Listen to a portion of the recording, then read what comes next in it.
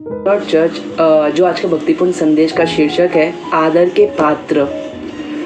इस डिवोशन की शुरुआत जो है मैं आपके सामने एक अ, एक लंदन के जो मिशनरी है उनके उदाहरण से करना चाहूँगा।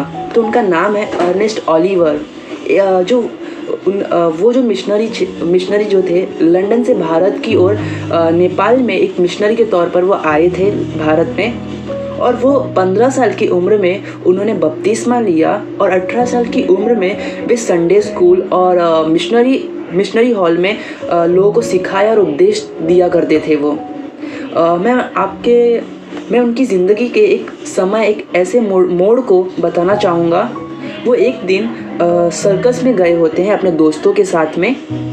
वहाँ उन्होंने ये महसूस किया कि परमेश्वर ने उनके हृदय से स्पष्ट रूप से बात कर रहे हैं।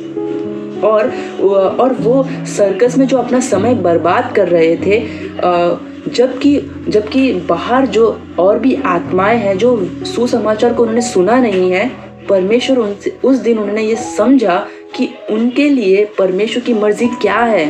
उन्होंने उस दिन महसूस किया अपनी अपनी ज़िंदगी में कि परमेश्वर की योजना क्या है उनके लिए। तो यहाँ पर हमने देखा कि जो सुसमाचार के द्वारा उन्होंने अपने अंदर अपने हृदय में जो उद्धार को, अपने ज़िंदगी में जो उद्धार को पाया था पंद्रह साल की उम्र में, और हमने ये भी देखा कि कैसे परमेश्वर ने उनके ध्यान को उस सर्कस से हटाकर अपने उद्देश्य के लिए इस्तेमाल किया।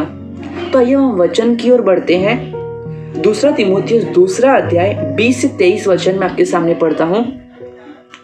एक बड़े घर में बस सोने चांदी के ही पात्र तो नहीं होते हैं, उसमें लकड़ी और मिट्टी के बर्तन भी होते हैं। कुछ विशेष उपयोग के लिए होते हैं और कुछ साधारण उपयोग के लिए। इसलिए यदि व्यक्ति अपने आप को बुराई से शुद्ध कर लेता है तो वह विशेष उपयोग का बनेगा और फिर पवित्र बनकर अपने स्वामी के उपयोगी, अपने स्वामी के लिए उपयोगी सिद्ध होगा और किसी भी उत्तम कार्य के लिए तत्पर रहेगा। जवानी की बुरी इच्छाओं से दूर रहो, धार्मिक जीवन, विश्वास, प्रेम और शांति के लिए उन सब के साथ जो शुद्ध मन से प्रभु का प्रभु का नाम पुकारते हैं, प्रयत्नशील रहो। मूर्खतापूर्ण, बेकार के तर्क, वितर्कों से सदा बचे रहो, क्योंकि तुम जानते ही हो कि इनसे लड़ाई झगड़े पैदा होते हैं। तो इन तो इन वचनों में हम देखते हैं कि पौलुस जो है झूठे शिक्षकों और उनकी शिक्षक से शिक्षा को लेकर हमें अलग रहने के लिए, तिमोथियस को अलग रहने के लिए और उससे दूर रहने के लिए और बचे रहने के लिए कहते हैं। और उनका अगर हम दूसरे अध्याय में देखें तो पौलुस जो है, कड़ा विरोध करते हैं झूठी शिक्षा का।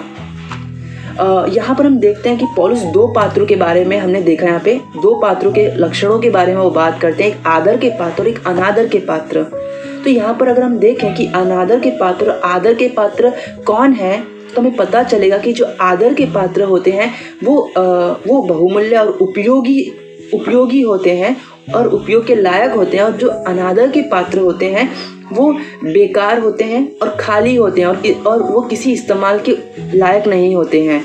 हम भी अपने घर में अगर किसी बर्तन का इस्तेमाल करते तो सिर्फ़ अच्छे और शुद्ध साफ़ बर्तनों का ही हम इस्तेमाल करेंगे। बेकार बर्तनों का हम इस्तेमाल बिल्कुल नहीं करेंगे। ठीक इसी तरह परमेश्वर के राज्य में भी अच्छे बर्तनों का ही, आदर के बर्तन, आदर के पात्र का ही हम इस्तेमाल किया जा सकता है। और जो आदर के पात्र हैं, वो अपने आप को शुद्ध रखते हैं और परमेश्वर उन्हें अपनी स्व इच्छा से उन्हें इस्तेमाल उपयोग उपयोग में लाते हैं और वो व्यर्थ के वाद विवादों से अपने आप को अलग करके रखते हैं। और धार्मिकता, प्रेम, विश्वास और मेल मिलाप का पीछा करते हैं वो। और ठीक इसके विपरीत अनादर के पात्र होते हैं। वो अशुद्धता और झूठी शिक्षा में ही अपनी ज़िंदगी जीते रहते हैं, जिसके कारण वे परमेश्वर के लिए अनुपयोगी हो जाते हैं और परमेश्वर उनका इस्तेमाल नहीं करते हैं।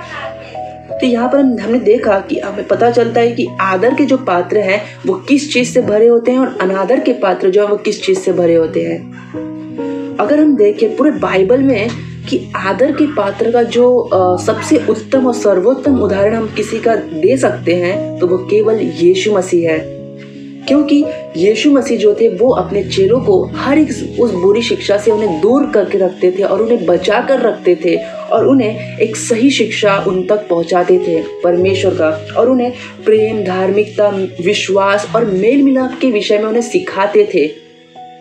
यीशु मसीह में उन सारे गुणों से परिपूर्ण है, जो एक आदर के बर्तन में होना चाहिए। अगर हम यौहन्ना एक चौदह हम पढ़े, पढ़ते हैं तो यीशु मसीह अनुग्रह सच्चाई से परिपूर्ण थे, यानी भरे हुए थे। और वचन 16 में पढ़े तो हमें पता चलता है कि यीशु मसीह की परिपूर्णता में से हम सबने पाया, यानी उद्धार।